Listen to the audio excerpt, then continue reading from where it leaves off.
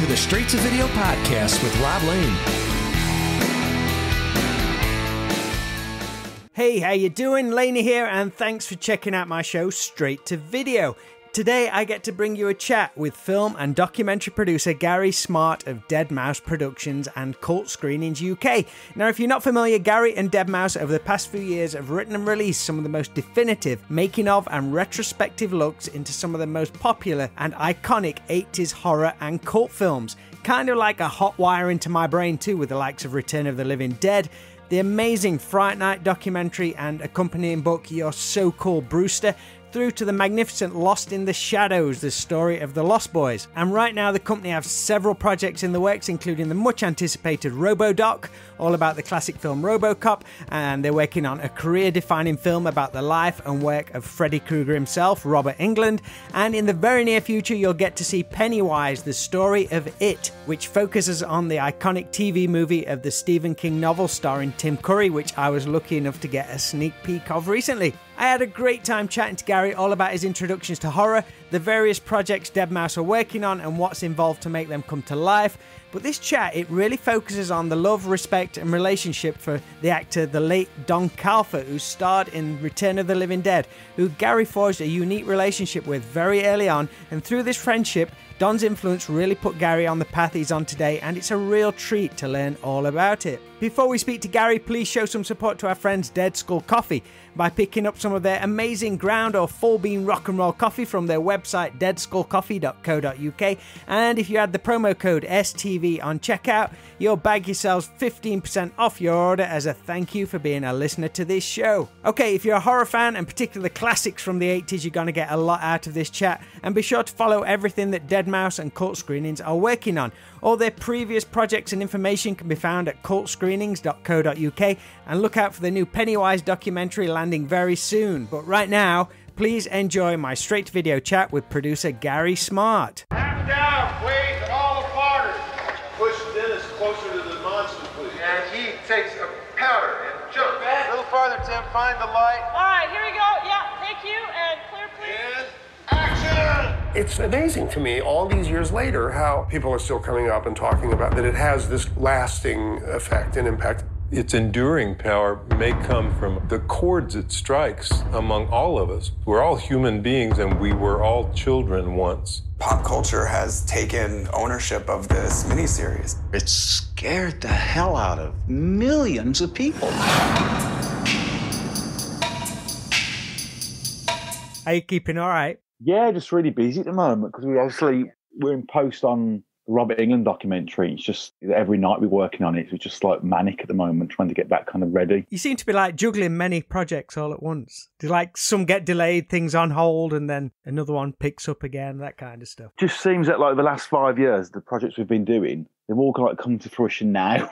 I think COVID kind of screwed us, and now suddenly, you know, we've got distribution on RoboDoc, distribution on Icon, now called Hollywood Dreams, and obviously Pennywise just coming out. It just seems to all happen at once, which is a bit of a nightmare. But I'd rather it be happening now than not happening at all. Exactly, mate. Really appreciate you doing this with us. I'd love for some of the podcast listeners to find out more what Dead Mouse and Cult Screenings do, because I think a lot of them would really get off on it if they're not familiar with it. There's so much stuff out there these days. I could like go down a Facebook or just an internet rabbit hole and you find all these little companies doing all this cool stuff, whether it be clothing stuff or people doing videos or anything. You can just go forever. really kind of like just the last couple of years, it's just kind of like wild, hasn't it? In terms of obviously, you know, t-shirt companies and pin badge companies and poster artists, it just seems gone completely wild. Whereas five years ago, there was like nobody doing it. But it's brilliant because obviously, you know, especially as a collector myself, get all these goodies now which you never have got before. Exactly. I mean, you're sat there surrounded by amazing stuff. Imagine if that was accessible to you in like the late 80s, early 90s. There was hardly anything. I think America got some cool stuff, but us in the UK, we just got nothing. Well, we didn't have specialist shops here either, did we? And before the internet as well and eBay and stuff like that, we didn't have specialist areas to go to, especially where I was Birmingham. There was like there was no kind of like horror movie stores here. But obviously, thankfully, that's changed massively. We can get all this shit. What was the first one you remember? I mean, I'm from Nottingham, so I mean, we had one called Another World and an early version of Forbidden Planet. That's early 90s, I'm going back to there. Yeah, we had a shop called, it's still there now in Birmingham, but it, it was called Nostalgia and Comics. And it was expensive stuff as well. It wasn't cheap. Yeah, that was the kind of first kind of like store, really. And then Forbidden Planet opened,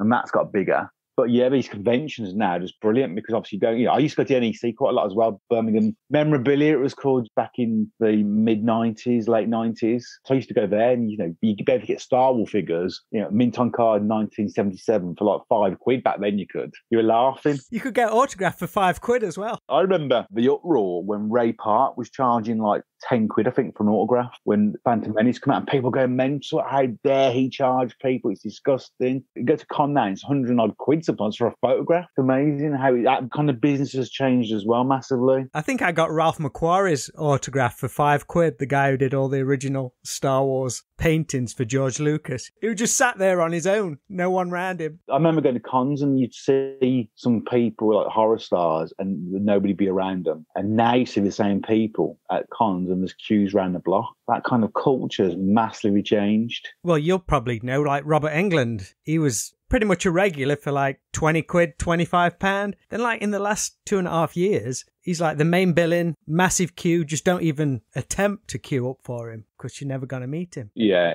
that just shows obviously the interest now, which has just massively grown, you know, and it's just been unbelievable. Great for us as fans, but I've been to a con as a customer for a long time. I think the last one I did was for the love of horror when they had all the Lost Boys people there and it was so busy. It's like, I'm going to get the autograph I need, then I'm out of here. The convention was great, but it was just mayhem. Yeah, it's a brilliant show. We did the Love of Horror when we, and we did a preview of Pennywise, only like 10 minute preview. And it was just after COVID. So it was still really tetchy, COVID was. And we walked in, and as much as I wanted to have a nose, I felt like, I'm just going to go on the stage, do it. And I'm going, too many people. And it was obviously COVID. Nobody's wearing masks at all. Yeah, so I just got to shut out of there then completely as fast as I could. So yeah, I want to give people a bit of an overview on yourself and uh, Dead Mouse and cult screenings and all that kind of stuff. But just kind of trace your introduction into horror and just films in general. You mentioned earlier you're from Birmingham. I think was you born in 1982? Yeah, so it was my it was my 40th birthday last week or the week before. I'm feeling it. Well, I, have got a few years on you, mate, so don't worry about it. 40's good. Uh, I'm feeling it at the moment. My back's aching, my legs are aching, going grey. Grazing the beard, that's where I notice it around on the side. I've had a really crappy beard because I had the ginger beard, even though my hair's dark and now it's gone grey. It's like you can't win. It was never the same colour as my head hair. It was always the wrong colour. So born in '82. So by the time you're like maybe six or seven years old, the video boom is in obviously in huge swing. Some of the most iconic '80s films have been released, and still some more hitting cinemas. I mean, like Batman '89 must have been coming about when you were kind of conscious of everything. What are some of the earliest films you remember watching on video? I was allowed to watch horror at a very early age. My granddad was a huge horror buff. He used to rent videos out and then pirate the videos. It's really weird. He used to put them in his own cases, but the case had a review from a newspaper clipping attached to it. So I always remember being into horror because of him. Nightmare on Elm Street 2 is probably the one I can earliest remember. I would have watched stuff before then, but I remember getting it for Christmas. And you know, when you're a kid and you nose around for your Christmas presents beforehand and you, you know, go to the hiding places in the house. And I remember going to mum and dad's bedroom and they had like a wall unit and I rummaged through it. And in there was the VHS. Two VHSs it was. It was Nightmare on Elm Street 2, Freddy's Revenge. And it was The Amityville 2, The Possession. That was my Christmas presents, probably the age of about six, seven, maybe. Yes, that's parenting done right. oh yeah, yeah. But I knew I was into Freddy quite early because uh, I mean, again, for UK listeners, you go to nursery reception, and you go to year one, and year one, you're about five, aren't you? I think in year one. I remember in year one having a scrapbook with Freddy Krueger pictures in and taking it to school with me. So that was five, you know, maybe going to six. So I knew who Freddie was, and I loved Freddie. And I went to Weston-super-Mare, and my mum got me a big door posters, the big life-size one. So kind of happened because my granddad. Then it just kind of evolved really. And Freddie was always kind of the first thing really, followed by Return of the Living Dead. That was my horror kind of like schooling at first, and then that just went mental over the years. It just expanded, expanded. So when I say video shop, are you drawn back to a particular one? Is the one that jumps to mind? I live in a council estate in Birmingham. You know, you have like we used to call the top shops, where in the middle of the estate there was a row of shops basically, and you had a fish and chip shop, and there was a Chinese takeaway, and there was a bookies. Sure there's a dodgy little pub in the corner, but on the end of that was a VHS store, you know, a video rental store. And I just remember going into that store and just obviously, you know, and when I think of Hellraiser, I always go back to there because I remember the standee of Pinhead being in there, and it was a really kind of like real dark, gloomy kind of little shop. It wasn't even that big, and I was just fixated on VHS cases. I, you know, I would love the art, you know, and that's why I think when you look at the artwork back in the 80s on videos and horror, particularly, you know, with Graham Humphreys and people like that, that's what draws you in straight away. So I just remember spending hours and hours just looking at VHSs. And I remember being allowed to hire them as well, even at a young age. Things were different then, as you know. And I remember going with my friend Francis to go and hire Pet Sematary. That would have been what, 89? That would have been 90. And we were allowed to go in as kids and rent it out because they knew Francis's granddad. And then obviously Blockbusters. You know, I'd spend hours in Blockbusters.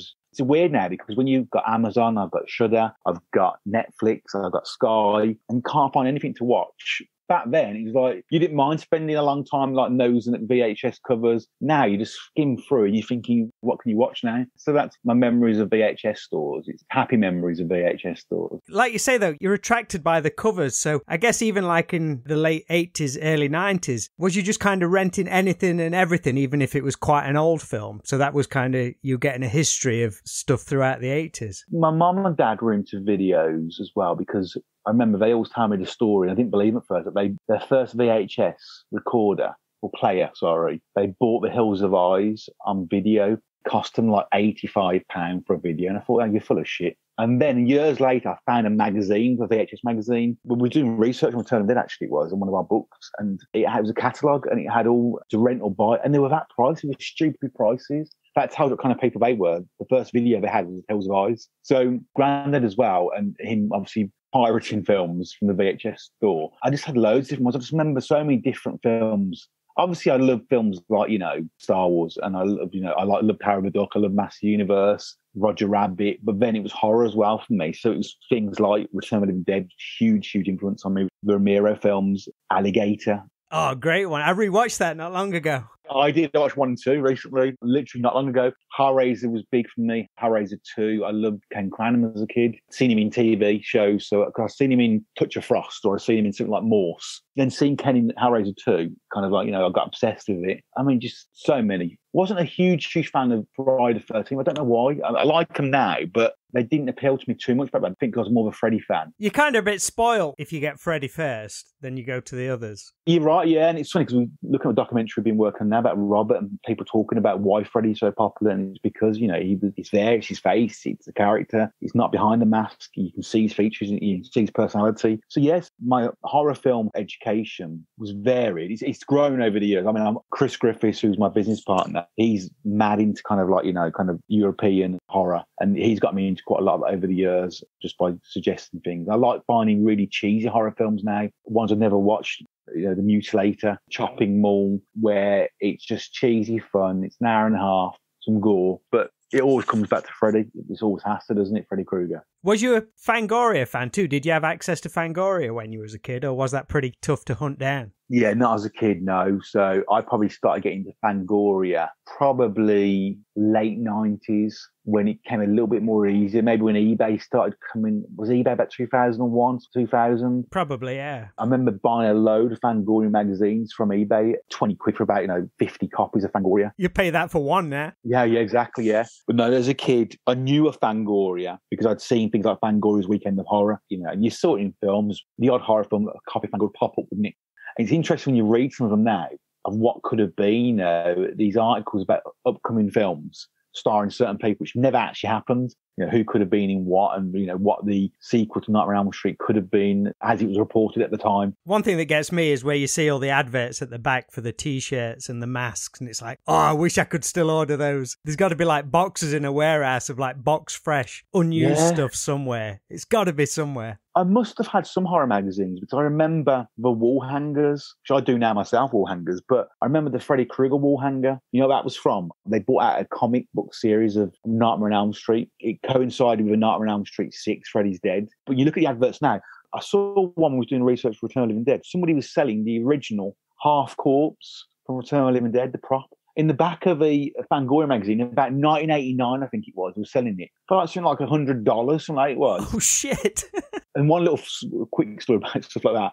It's completely off topic, but what I think about it about horror, my biggest regret ever with horror and merchandise is in about 2001 2 somebody was selling a screen used dr chenard overhead mask and i remember seeing this i think fucking i really want it i just started working you know you know you're at college and you start working i had a 100 quid on it's all i had and i got outbid and it sold for about 112 quid something like it sold for i've never seen anybody who bought that go oh you know i've got the original dr chenard so it's probably decayed now, probably. But it's like if I had that extra bit of money, and it was peanuts as well. And I always regret that. But I know I'm, I was like that then as well because I think I would have tried to make eyes for it or a mouth for it, and I probably would have wrecked it. Melting it, trying to like glue stuff onto it and stuff. yeah, yeah, I would have done, and I know I would. I know I would have done it. I wouldn't have preserved it. I would have literally just kind of like, as you said, gluing a new mouth I made out of plasticine on it. And I, so maybe it's a good thing I didn't get it, maybe, because it'd be in pieces now. We've put it out there though now. It's out there. It might come back. Yeah, if someone's got it, please get in touch. It'd just be nice to know what happened to it. Because back then as well, you when you were on eBay, you were buying stuff from the UK, you weren't buying stuff from the States. It was all UK, UK, wasn't it? And you had to pay through postal order as well, if I remember. PayPal didn't exist. You wouldn't use your debit card or your credit card. So someone bought it on a postal order, probably, in about 2002. So please, if you're out there, I want it now. Robocop would be a film you'd see when you were really young, uh, like 10 years old, again, watching an 18 certificate film. Can you tell our listeners about you imitating certain scenes on screen which you perhaps didn't fully understand at the time? I always remember going to my friend Ben Sparrow, his name was, go to his house and we watched Robocop and we bought, do you remember the old sherbet dips where you'd have the orange tube with the licorice? And I always remember this vivid memory of, of me and Ben putting the sherbet dip in a line on the table and snorting it because we saw it happen in the film with the bitches. You know, Bob Morton did it and we had no idea what cocaine was. You actually snorted it. You didn't pretend to do it. No, no, we snorted the sherbet dip. I remember being really fizzy in my eyes, but it was kind of like, you know, they say about films influencing kids. Fucking definitely influenced us doing that. That's a really strong bit of memory I always, I always have. I always mention, I haven't seen Ben in years, but I always mention it on interviews because why we did the documentary on Robocop was because of the influence it had on children because it's a horror film basically, I think it is. It's sci-fi, but it's horror because it's horrific what happens to Alex Murphy. But it's aimed at kids. It's not when it first came out, but after was aimed at children. So for us, it was a superhero film, really it was. I'm sure was a trailer what says, you know, your next superhero and it's Robocop. You know, an 18 certificate film where someone gets massacred and there's lots of murder and mayhem. In probably like the most realistic and brutal way possible. It's freaking horrible. Oh God, yeah, yeah. Even now when I see it. Yeah, but that's why I say it's a horror. And people say, you know, why did you do Robocop? We'd done Leviathan, Harry's one, we did that, we did the Brewster one. And the reason why we did it, I genuinely still think I think it's a horror film because it's horrific what happens to Alex Murphy. All the horror films we can mention, like Freddy and that kind of stuff, what happens to him is more horrific what happens to a lot of people in horror you know, it's about a human being, you know, being destroyed, really. So, of course, there's sci-fi elements in it, but I'll argue that I don't think that Star Wars is particularly sci-fi. I think it's a drama. Yeah, there's spaceships in it, but it's not about the spaceship. Star Wars isn't. It's about the people, about the family. Yeah, it's just an adventure fantasy thing, which yeah. I was never a big sci-fi fan. Everyone says, "Oh, you must like this sci-fi film." No, I just kind of like Star Wars because it's just this great adventure story. Yeah, me too. Yeah. So you know, that's a vivid memory I have on that, and I'm sure I've other stuff. We used to play zombies when we were kids. So we used to have a tower block by us where I lived. It was like tig and tag, basically. You know, one person was a zombie and the rest of us were humans. It was Return of the Living Dead. We, we played with characters, and what would happen is that person would have to chase us up and down this 14 story flat.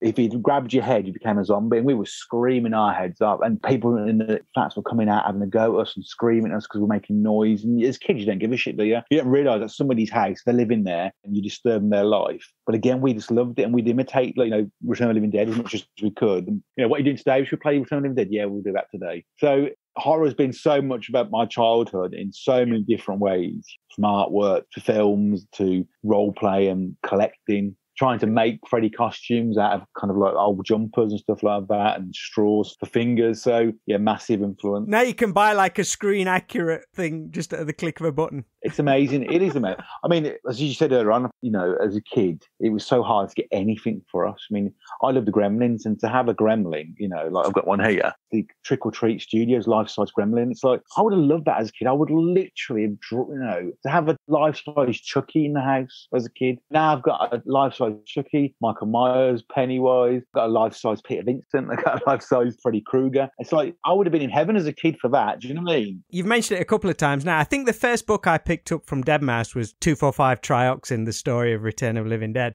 That's obviously a film that's very close to your heart, and a lot led to the run up of that book. But what's your original history and relationship with that film then, other than reacting it? When did you first see it, and was you aware of like the loose connection between the George Romero movie Night of the Living Dead, or was it just seeing the artwork and like that looks fun? No, it wasn't even that. So what it was, it was one of my granddad's VHSs. He'd obviously copied it from the video store, and it was in a black case, and it had on the case it had a film review, right, and Return of the Living Dead, and it was just sitting there there. He must have borrowed it to my dad. Again, I was allowed to put videos on. You know, videos were a big part of my youth. I had a video player in my bedroom quite young. And so this would have been probably, I reckon, about like 1990 maybe. So I would have been about eight.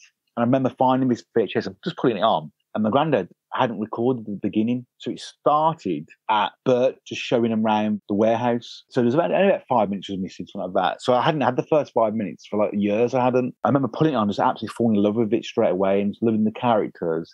And again, recognizing people like Don, because my nan, she was always at our house, my nan was, and she loved things like Murder She Wrote, Columbo. And I recognize this person from my nan's shows that she used to watch. Oh, wow. Don popped up in everything in the 80s, you know, from Kojak to, you know, Murder She Wrote and whatnot to Twin Peaks. So um, I remember recognizing him and just becoming obsessed with the film, not having any idea of the connection between Russo and obviously Romero. It was some time after I'd watched Dawn of the Dead. Didn't like Night of the Living Dead as a kid because, again, I think when you're a kid and you watch black and white movies, sometimes it just seems really old, doesn't it? And you, yeah, yeah. You know, you, and you're watching Return of Living Dead, where there's like lots of gore and obviously Linnea Quigley's got her boobs out and a bits out. Punk rock soundtrack blasting out as well. Yeah, and then you put on Romero's Night of the Living Dead, it's black and white, and it's kind of a bit depressing. I just didn't connect with it. I connected more with Dawn of the Dead and I loved Day of the Dead as a kid as well. And then I remember weird story, but my nan's sister died, and because my nan's sister died, we got given we were given money from my nan. I don't know why. You know, she gave us like 10 quid each, something like that, me and my sister. Maybe just cheer us up, I don't know. I remember going into Birmingham and they had a double box set in WH Smith's and it was Night of the Living Dead remake in a double box set with Return of the Living Dead.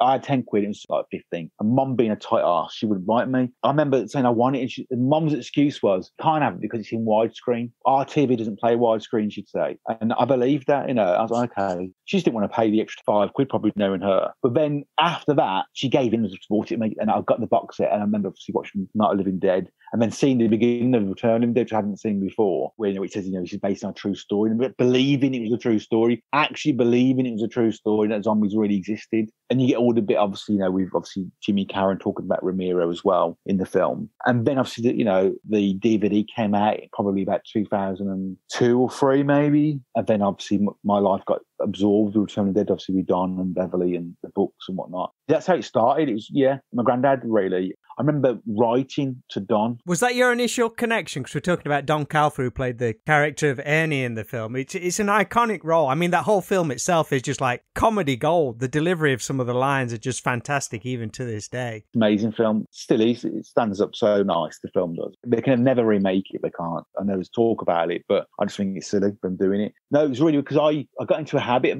maybe late 90s when the internet first came out or it was accessible and you could use it in school. So I was in sixth form. I used to stay back after school and use the internet. I'm going find the website where it had celebrity addresses on. And I remember finding Don's. And I saw, and I thought I wrote to a few, but I wrote to Don. And about a year later, it came back not known at this address. And I was gutted. And I was absolutely gutted about it, absolutely gutted. Anyway, then time went on as time does. And then MySpace came out, way before obviously Facebook. You do a search on MySpace, and Beverly Randolph came up, played Tina in Return of Living Dead. And I just got, you know, connect to her as you do. And back, back then, I think people weren't connecting to horror stars online as they do now. I remember reaching out to Beverly and saying, I'm a big fan of, you know, of Return of Living Dead. I love Don Calfa. Do you ever speak to him still? And she messaged back going, Oh, I see him all the time. You know, we're really close still. We've been friends for a long time. Do you want me to get in touch with him for you? I was like, Oh, yes, please. Anyway, and then I was living at home at the time, and it was a Sunday evening, and the phone rang, and my mum answered it, and she came back, she went, oh, I was a man on the phone. She says, I don't know who he is. Can't hear him very well, and he's got an American accent. Got on the phone, and it was Don Calfa. Oh my God. Yeah, yeah. And Don was really weird because even back then, Don was deaf as a doorpost, Don was. So most conversations with Don on the phone was Don talking because he couldn't hear you. You know, you'd have to really shout. And I, being quite nervous anyway, I let him do the talking. So Don then phoned me, I reckon, for a year, every single Sunday for a year, he phoned me. No way. Yeah, yeah. And it became just a friendship, really. And it was more, he'd phone you, tell you about what films he'd watch, what he was having for his dinner, what he'd cooked that week. And it was weird. We never talked about Return of the Living Dead. We never talked about it. It was always about, you know, what I've been up to at work. It was always interesting in what you were doing, you know, how's work, how's your family. We talked to my mum sometimes on the phone. And then the NEC were doing the memorabilia events, as we talked about earlier on. And they did a thing, it was a magazine called Gore Zone. It was a really, really nice magazine. Then it became all tits and ass and, you know, it became all naked women on the front covers and what. I understand why it did that. I understand the mentality behind it. Not, I'm not criticising it. But at the time, it was really good mag. And I got friendly with a guy called Christian Sellers and Christian said, you know, we're doing this event in Birmingham and Gorezone are sponsoring it and they're trying to get as many horror people as possible for their kind of area, their Gorezone area. Do you think Don will be interested?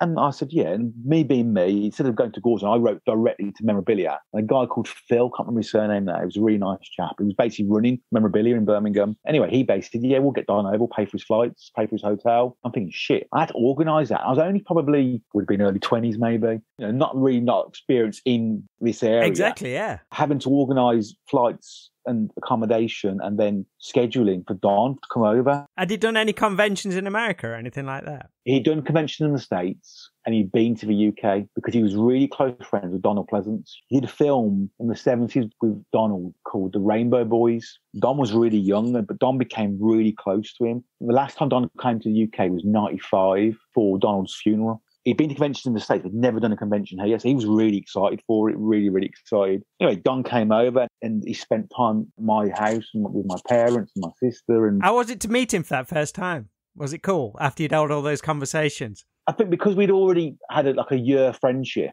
call to meet me in the flesh. Skype or Zoom didn't exist. It was just phone call, you know, traditional. I didn't phone you mobile because it would be too expensive. Did you pick him up from the airport? I picked him up from the airport. Me and my now business partner, Adam, picked him up from the airport. And it was really exciting to meet him. We went for a Chinese because he came quite late in the evening. It was really weird because instant kind of friendship. And it's very strange when you're 25 and there's a 60 year old man, but he wasn't a 60 year old man in his head. He was a kid. He never grew up, I think. You know, he had a really kind of great sense of humor. He was really energetic. And he was losing, obviously, he'd lost his hearing to a degree, had the hearing aids, but he didn't see himself as old. And he, I think he liked being around young people. So he got really attached to me and Adam. We called him like an uncle. It sounds really cliche, but he became like family. He genuinely did. He was like a family member. We spent two weeks here. And then the year after, we went and stayed with him in Palm Springs, uh, Yucca Valley, sorry. Showed us around LA, took us, you know, to Mexico for the day. he had to go and get his hearing aids done in Mexico, and he took us there. He took us to the worst part of Mexico you can ever imagine. It was like shanty towns, like El Paso. I thought I was going to get murdered. or Don leaves us in the car. So funny, when we was driving back, we went to this little restaurant, the guy recognised him straight away from Weekend at Bernie's. And you could see people still recognised him from the films he was in. So we became really friendly with him, and you know that led on into the book because Donna shared loads of stories with me, and I said to Christian, you know, do you fancy doing a book on Return of the Living Dead? I knew the cast was still friendly, and you know, obviously I became friendly with Beverly, Thom Mathews, and Miguel, and people like that. When we went over to the states, Don introduced people in the flesh, so the book came kind of easy, really, to be honest. But we had got a publishing deal with a UK company. There's lots of problems after with them, you know. Uh, the book wasn't handled as well as I think it should have been. It was a great book and people loved it, but it wasn't really promoted as much as it should have been. And you know, there was nothing really in the local, in like British magazines about it, and it wasn't really podcast back then, of course, wasn't. But even like Starburst, and you know, and Fangoria, that weren't. No one was covering it at all, and it was released worldwide. It's just like on all five films. I know people hate four and five, but it was still about what went wrong with those films because Don was supposed to be in, in number four and five. Don was supposed to be number three. Don was supposed to be number two, and other people people to come back. So it's a really interesting story, I think. You know, we didn't make any money off that and it was released. And then I was asked then not long after that, to write the documentary More Brains, Return to the Living Dead. And that was from the guys that made Never Sleep Again, that made Crystal Lake Memories, Thommy Hutson, Michael Perez. And because we had done the book, I think it was just easy for them to hire us, a couple of Brits who already knew the franchise quite well, knew cast and crew, knew the structure of the doc. And it was really easy for us that was. I'm not just saying it was easy because we, we would just done the book. We kind of did the work in about a week naively now, does not take a week to do a documentary. Doesn't. I've learned that hard way. But what it did show me how to structure documentaries and how you use the transcribe from the interviews, which are all typed up, and you then structure it into an, we call it a script edit. So basically, instead of editing on the computer, you edit on script and you create the documentary on paper. It taught me how to do that really. And it also taught me how narrative works in documentaries. Now you can use maybe an answer from another question earlier on. And also actually what you read on paper and you think is really interesting crap when you watch the interview because the delivery of the person isn't as, as energetic. You think it's going to be quite mumbling, you know what I mean? So it was a really good learning curve, and that resulted in us doing obviously, you know, the other documentaries. So Return of Dead's got a massive place in my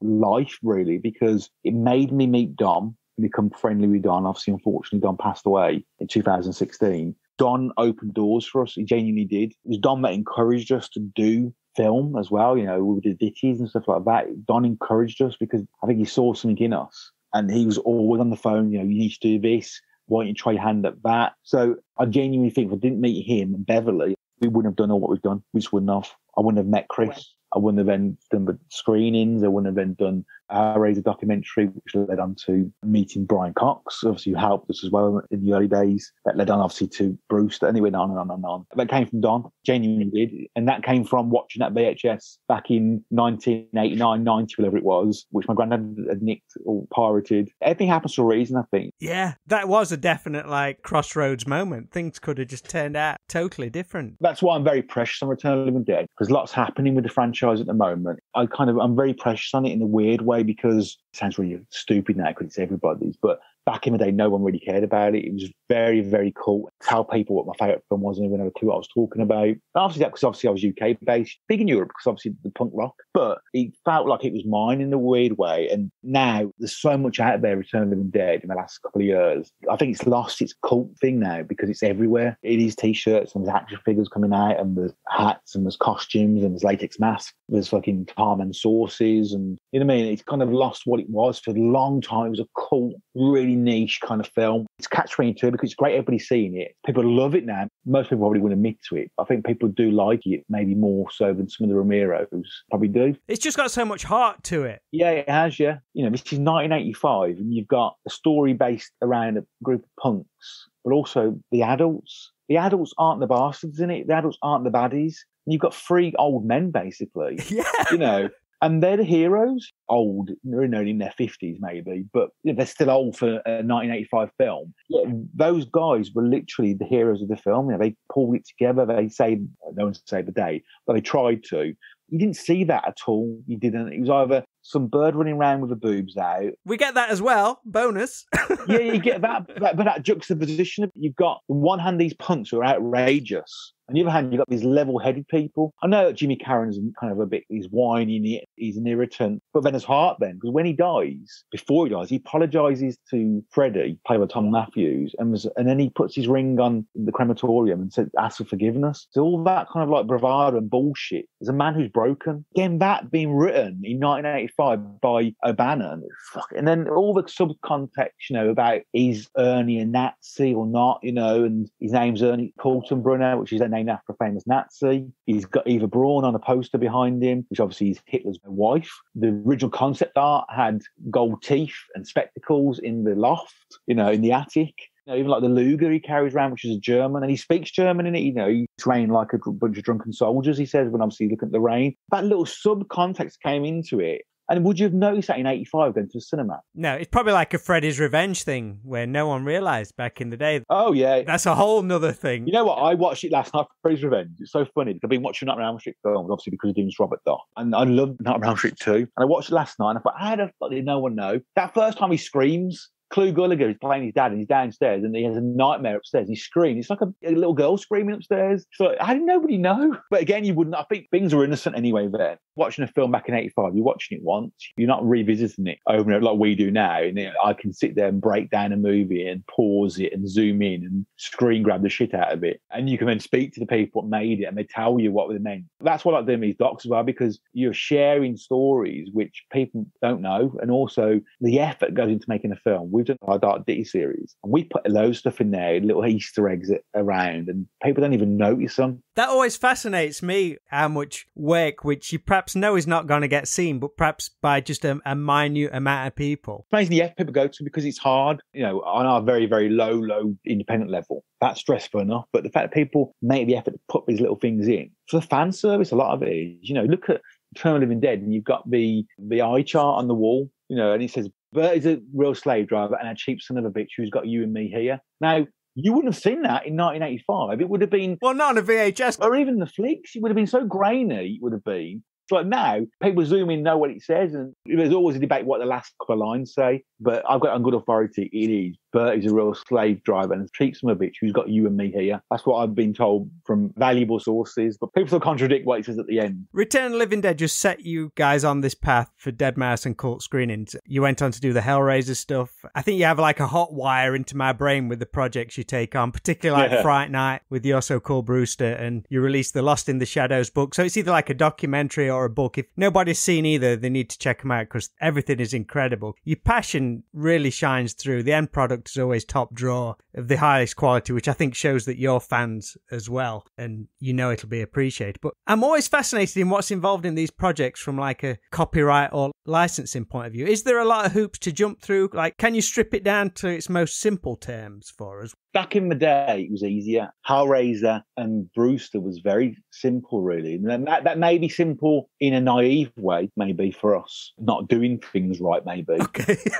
you know, fair use was a really strong term back in the day because as long as you were not damaging somebody's intellectual property, we're doing a documentary on Fright Night saying it's a shit film. We're damaging the film there. The studio would have to prove your documentary was damaging their product. Now you, are doing a celebration and you're all cast and crew back. It's very, very hard to prove then damaging their product. And also they're not doing anything with it. So that was a bit easy, but also fair use was easy as well because as long as you were contextual and narrative and educational, you could use images and you could use footage. I'm talking to you now about Freddy Krueger stretching his arms out, running down the alleyway in Nightmare on Elm Street, I could legally show that clip because it's narrative, because I'm discussing that clip. So that was quite easy back then. Now it's not. And this is not a criticism of anybody, but because documentaries have come out over the last few years, which have been very profitable on Kickstarters, stuff like that, you know, some of these quite big horror focused retrospectives on numerous films in a particular decade, they've raised half a million quid on Kickstarters. It started making people start thinking now there's, there's money in this. And I will say, you know, quite clearly, we take a long time because we don't make any money. We don't actually take a salary at all that will have to change one day because I'm skint because of them. You know, I'm literally, you know, we invest our own personal money in the projects as well as obviously Kickstarters. But anyway, going back to what I was saying about copyright. So it's kind of changed a little bit. So on Pennywise, we had to do fair use legally and we had to have a fair use lawyer and we had to have an insurance certificate as well. So when we did the first cut of Pennywise and it went to the lawyers, and obviously, you know, we license images, we pay for images as well, and we get a lot off cast and crew. If it's their own images they're taken, obviously that's obviously can go in. Because all we need off them is a signed agreement. Doesn't affect the studio in any way. But if we're showing clips and promotional stills from a film, we have to make sure it has narrative and contextual. Can't be creative. It can't be we just show picture Pennywise to make our documentary look nicer. Got to be narrative. So we sent off the fair use logs. Basically, what you have to do is you have to literally time code every part of your doc.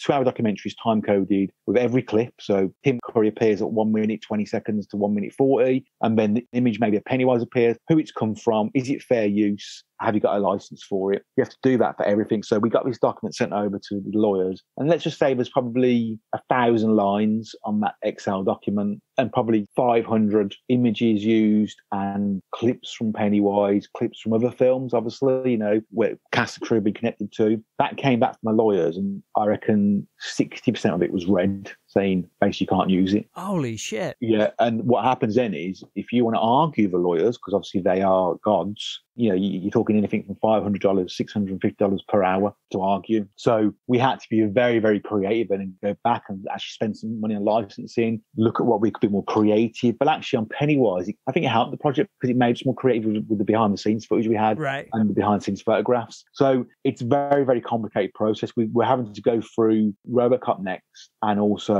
Icon, which is the Robert Englund story, Hollywood Dreams and Nightmares. That should be easy because it's spread across like 25, 30 films he's been in. It's very much about contextual because it's about obviously an actor's career. I think Robodoc will be okay as well because we've got loads of stuff obviously from archives from people. But also what's unique about Robodoc is that it's not a traditional documentary like Pennywise is. It's a dissection of every single scene in the film. No way. That's why it's four hours long. So you get how the film was, you know, concepted, then you go straight into the movie then. And you literally get at least two or three people from every single scene talking about the scene in detail, how the effects were created, what the costuming was, how the particular actor was cast, and who was meant to be in it instead of them. Unreal, man. Yeah, so it's very much a dissection. So that is very much an educational piece in terms of obviously, you know, the concept of the doc. How close is Robodoc now? We're just about to sign a distribution deal. We've been negotiating a contract for about six months, and that is literally going to be signed, I reckon, in about a week. So it depends how fast that distributor will announce. and say, you know, it's four hours long and it's a limited series. That's on part one only. Part two will be next year and part three the year after. So yes, the Robodoc is coming, you know, it, the announcement, I don't know what will come first announcement wise between that and Hollywood Dreams and Nightmares. Again, like spinning plates, you got them all coming all at once. I I was to you earlier on, it's really weird for us because we're on a trajectory with Leviathan and Brewster. So we made Leviathan, we funded it ourselves, most of it. We raised 12 grand, I think we raised on Kickstarter, but we rest it we paid ourselves for. That came out. Where that was coming out, we were starting pre-production on Brewster. So the sales of Leviathan, the DVD sales, that money went straight into Brewster then. So we raised, I think, 18 grand, wasn't a lot considering for Brewster. And we put, I think we put about 30 grand in ourselves. Again, the trajectory was quite nice. It was the year after it came out, basically a year to pre film and post and release. That was quite a nice little path we were on, really. That was our, always our plan. Then Robodoc came along and screwed it all up for us. So Robodoc comes along and we raised 30 grand, I think 28 grand on Kickstarter, and we put every penny of Brewster went into it. So in the end, we put probably about 90 grand of our own money into it. So when people criticize us on, you know, you took 33 grand ran off, we put 90 grand of our own money into that as well. 30 grand was brilliant. And obviously, we, you know, we needed that. But that project is over 100 grand, you know, 120, well, it's more than that now. I think it's probably about 200 grand. I think that project is now. Problem with that was Robodoc was blue and blue, got bigger and bigger and bigger. And it went from one film to all three films, a comic book series, a TV series, video games. And the original plan was to interview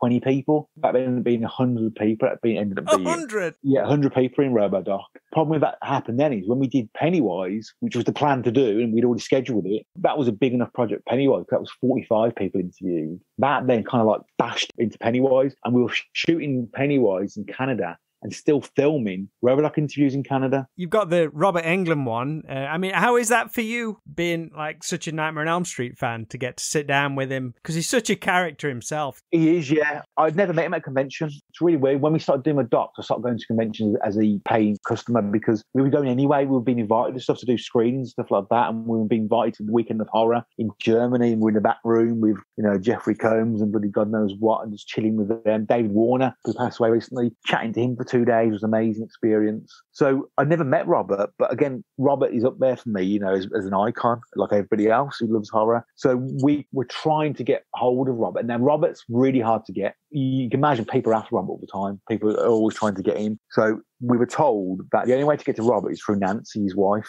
Nancy's kind of a gatekeeper for Robert. She runs the website. Even though he's got a manager, she's the one that vets people first. So Mikey Perez, who works with us on Robodoc and worked with us on Pennywise, he'd also obviously co-produced Never Sleep Again documentary. So he knew Robert through there and Nancy. So he gave me Nancy's email address. Now, at the same time, we'd gone to Germany. We'd been invited back to Germany again, and Robert was there. And I just chickened out really. You know, he was around the block, absolutely around the block. For two days. We stayed in the same hotel as him. And the first night we went to the bar and he was there and he had a load, you know, he had a load of people around him. Master of ceremonies who were probably conducting it. He was literally, and we had him on one side, we had Steve Seagal on the other side. That was fucking weird. He wasn't a nice person. But anyway, so it was just really weird. I couldn't feel comfortable. And the next night we left early. We had to go at a certain time off the our ferry. Mikey went, We're going out for meal tonight with Robert. I've got you, you know, an invitation to come as well. Fucking, I can't come. I'm going to go home. And he said, No, you know, great opportunity to meet him. You know, you've been invited. And we just couldn't do it. You know, with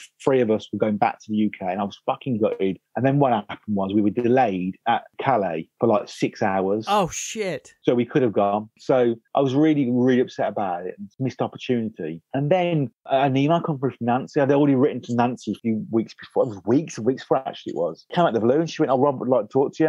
Are you available on Sunday, seven o'clock UK time? Yeah, of course. Shitting myself. And then he phones, you know, that Sunday night came and he phoned. He fair play to him, the phone rang and it was Robert Englund. And it was the same experience I had with Don. It was really strange because he was just talking about other shit. He was just talking about where he'd been and what, and it was not about Freddie. And then we got into the documentary and he said, "Listen, I'll let you do it if you promise you'll talk about other stuff from Freddy Krueger because Never Sleep with the Dead's been done. I know Freddie's important. I know he is. I know he's important to the documentary from a marketing point of view. But there's no point in me doing it if you're not going to talk about everything else." I went, you know, I said, "Let me pitch what my idea is," and I pitched him. It's about the man behind the mask. It's the man behind the glove. It's about his character actor who started in theatre who started off playing roles like the sidekick in the comedic roles, then ended up then, you know, in V, becoming an international name because of V, playing Willie, the friendly alien, and then by default ends up as Freddy Krueger, and then becomes a Hollywood horror icon, a rock star. But what happens then to that career? Is that role a gift or a curse? Has it actually damaged him? And then I said, but I think not damaged you. What it's done, made you into this icon, made you into the same as Bela Lugosi, Christopher Lee, Peter Cushing. So yeah, it might have damaged maybe you getting an Oscar or getting, you know, a BAFTA. But what it's done, it's cemented you in history as his character. And this doc is now is for people to go, I didn't know Robert was in that. Oh God, Robert was in this. Robert started with Arnold Schwarzenegger in 1970s and Stay Hungry and Jeff Bridges. What?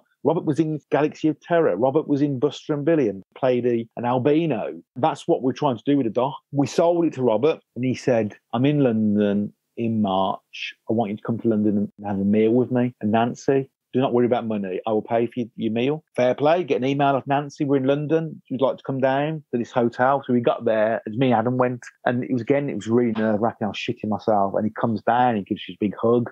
And he's talking about films and bullshit, you know. And he goes, oh, anything you want, you can have, he says on the menu. I know I'm not one of the people who just have the most expensive thing. I'll find the cheapest thing on the menu. Epic was dear. Mean, it was fucking really dear. It was. It was ridiculous. And I found a little a lamb, and it was like 48 quid for some Oh lamb. my God. But it was the cheapest thing on the menu. And I went, I'll have the lamb. And he went, you sure? I went, yeah. You went, do you want anything else? I was, no, the lamb's fine. Do you want a drink? I went, oh, no, no. I said, oh, I'll buy a bottle of wine. We'll share the wine. This lamb comes out and it's the smallest bit of lamb. I mean, literally, it's like a fucking tea coaster. And there was nothing else with it. I hadn't realised you had to order your veg separately. Yeah, yeah. Oh, man. Places I go, you board a lamb, you get your bloody, you know, it's a totally carvery, you know, you get everything with it. And he said, you sure you don't think? I said, no, no, I was fucking starving. And we snuck out after and ran to Five Guys. But he just sat there for like two hours just chatting about film and again, not Freddy related. It was all about everything else. And then we kind of, you know, we arranged to go to the States, go to his house, and we interviewed him. And obviously, Nancy's been brilliant. We've interviewed him three times,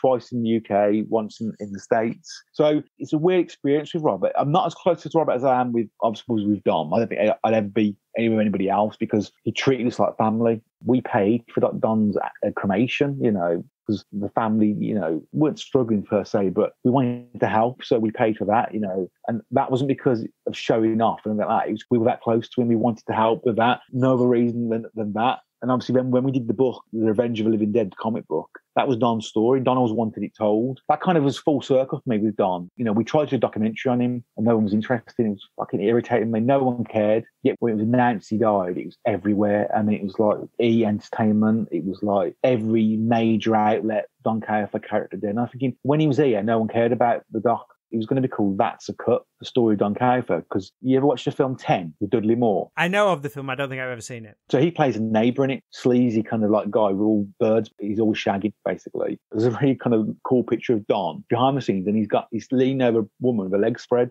and he was doing the film, and he had to go down on this girl. And then when he comes up, The director says that's a cut, and Don looks down at her and goes, "No, that's a cut." As in, you know, so that's what the documentary was going to be called. So we knew kind of the story behind that, and we, we had loads of people to be interviewed. You know, we had some big directors and whatnot who wanted to come on board, but when we put it out there, when we were doing Kickstarters, never ever again. I think we raised about a grand. No one cared, and it's a shame. But what really upset me with Don is I've got next to me here now, I've got a box literally by my feet and it contains hundreds of photographs of Don as a kid. Don was very humble. Don lived in a retirement kind of caravan park, kind of you want to call it, in Yucca Valley. You know, didn't have a lot of money, Don didn't. You know, despite obviously being in all these films, he didn't have much. And he was very humble anyway. So when he passed away, his estate was sold, all the contents. And I went on eBay and it came up Don Calfa personal photographs. And I saw some of the images, what they'd posted, and they were intimate images. Don was around in the 60s. Don would not have wanted them out and about. Do you know what I mean? So I messaged the people and went, listen, I said, you know, how much do you want for these pictures? And the game, it was quite expensive, but I've just paid it because I think they need to be with us more than anything. And yeah, and the idea was to put some pictures in a book. We're going to do a book. And I will do probably one day a photography book of Don. Yeah, that'd be amazing. Just, you know, because he's got so many, it's a life of his character actor, basically. But that's how much he meant to us, you know what I mean? And it, I don't think I'll ever have that again with anybody else. I'm friendly with Ken Cranham, friendly with Brian Cox, you know, and he's gone on to with Succession, he's gone through the roof now. Friendly, obviously, with Robert, but I just don't think we'll ever have that connection with someone again. That's lovely that it goes back so far for you as well. Yeah, he's the start of it all, and, and you know, and he genuinely, genuinely is. Without, I'm going to repeat myself, but without him, none of it would have happened. I just don't think someone from Birmingham, from a council estate, not pulling the heartstrings, but you know, I'd never have dreamt that as a kid, never have dreamt of it, you know, and it's still weird today, you know, stuff that we do, where we've all come from. You got to come from somewhere, no, you have, but how one man who you watch in a film can influence you, but not directly in a way that just his influence and his encouragement. We didn't go do his documentary on Leviathan, do this on that. It was none of that. Just set the seeds and push you in certain directions. Yeah, yeah, yeah. I always remember when Don came over to the UK for the first time and he did that convention I told you about earlier on. And I did some 8 by 10s for him, got some screen grabs from Return of the Living Dead and Weekend at Bernie's and whatnot, got them professionally printed. I remember him sitting there and he's staring for ages. He was going, You've captured these scenes. You know, you've really got an eye for editing. You should really look at editing. And again, you know, there's a lot better editors than me out there, but that encouragement someone said to you, as this like, a nervous kid from Brum, and this Hollywood actors there who starred in films with Warren Beatty, co-starring parts with Warren Beatty, Jack Nicholson, De Niro, been in Scorsese films. And he's sitting there going, "You've got something." And again, it's something I'll always remember. I'll never, never ever forget Don. My house, I've got portraits of him around the house. You know, commissioned artwork we had done of him. I've got a brilliant picture in the hall. I love it. I never post it online, and it's you know old kind of photographs where you get multiple pictures on one kind of like proof sheet, and it's Don, probably early seventies, rolling a joint in his kitchen and I've got that um, on the hallway, and it's just printed large frame. It's just 20 images of Don just rolling the joint in the bathroom. I've got a poster from one of his first ever plays when he won an award back in like the 1960s. I'm in there. The hallway, we've got some portraits of him. I've got a bar in the garden, and it's called Club Calfa, named after him. The art is Jason Miller, who's brilliant. Did some artwork for me as, as a pub logo. So Don is cemented around this house. He is, yeah. My mum and dad got pictures of him in their house. You know, they live in Spain, and they got a picture of Don up on the wall because he was close to them. It's really strange, you know, how someone can come into your life for a very short period, actually, really physically, you know, as a friend make such a lasting impression on you. Oh man, that's incredible. I'm going to wrap it up, Gary. I could go deep into every single project, and I hope everyone's just going to check them out. I'll leave it on one thing and I'll put you on the spot. You've obviously, everything you do is a passion project, but if you could pick any random 80s horror, regardless of how well known they are or how successful the project would end up being, from a fan point of view, is the one you'd like to do? Lots have already been done, haven't they? The big players have already been done. I would like to do one on, and even though there's been quite a lot done in terms of bonus features, we were really close to Reanimate at one stage. Went for lunch with Brian Yuzna about it. It just never happened because of all the other projects. It's a weird film that is one, two, and three actually. But I don't know. I mean, Halloween's been done. Friday the 13th been done. Not Elm Street would have been brilliant, but it's been done. And there's, there's probably loads of obscure 80s horror, which would be great. Was you a fan of the Monster Squad documentary? Did you get to see that? Wolfman's Got Nards? I did see, yeah, but again, it was really weird. I didn't connect that film as a kid. I don't know why. Like Night of Creeps, I didn't either. I appreciate them films now. I like and watch them now. I really enjoyed watching them as I'm older. I don't know why. I think maybe I was so focused on Freddy, Return of the Living Dead, Michael Myers maybe, and then I was focused on Turtles and Master Universe movie. So close to a documentary on Master Universe, but obviously, you know, there's certain question marks over key personnel involved in that film. So that never happened, you know. And I'm obsessed with Batman, you know, '89 Batman. With you, know, you mentioned it, I'm obsessed with the Joker. I think that maybe pushed me away from like films like Monster Squad. I don't know why, you know, I didn't watch it. I love Tremors. My friend Nicholas Helmsley, who's the editor on Pennywise, he is obsessed with Tremors and he wants to do a doc on it, but can't think of any more docs at the moment. I want to get these ones done. Yeah, get everything finished, like six months off. Then right, what's going to be next? Gary, I've loved it, mate. Thank you ever so much. Good luck with Pennywise and obviously RoboDoc when it comes out and everything else you're working on. Brilliant. You're a star. Thank you, Rob. Thank you. Most TV movies disappear into oblivion. I think the fact that it is consistently played on cable has opened it to a much wider audience. You say it, and people say Tim Curry. Down here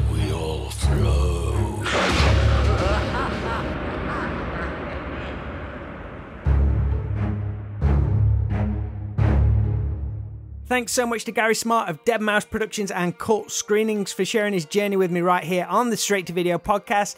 It was great to learn how everything works, but just to hear how passionate Gary is about the horror genre shows why everything Dead Mouse release is always the very best in quality. And I urge you all to check out their previous projects at cultscreenings.co.uk. If you want to catch up on over 200 episodes of this podcast, they can all be found at stvpod.com, along with some music, videos, and merchandise. And if you're ever passing through the Midlands one weekend, please pop into the Straight to Video 80s video shop in Alfreton, Derbyshire, to visit our recreation of an old school video shop right here in 2022. We've got some exclusive merch only available at the shop, and you can immerse yourself in all things 80s. Chris and I have some great events coming up, particularly near to Halloween, so keep an eye on at 80s Video Shop all over social media and hope you can visit soon. That is all for this episode of the show. Again, as always, thanks for listening, and I look forward to speaking to you all again very soon.